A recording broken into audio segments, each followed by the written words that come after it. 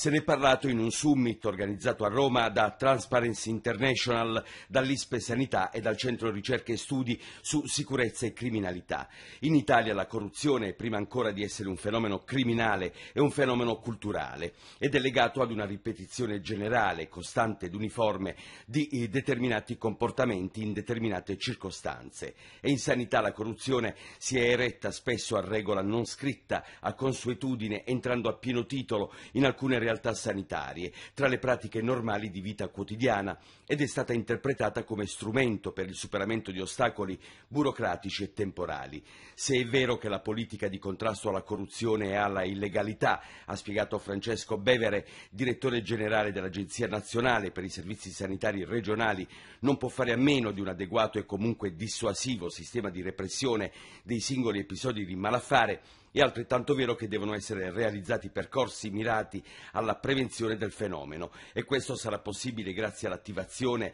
di specifici sistemi di allerta idonei a monitorare l'efficienza gestionale delle aziende sanitarie e dei singoli sistemi sanitari regionali, ma anche a scongiurare la realizzazione di comportamenti illeciti. Insomma, come ha sottolineato il ministro Lorenzin, questo sistema non ha una finalità ispettiva né repressiva, si vuole giocare d'anticipo e porre in essere tutti quegli accorgimenti che ci permettono di mettere a fuoco le aree a rischio e prevenire comportamenti illeciti.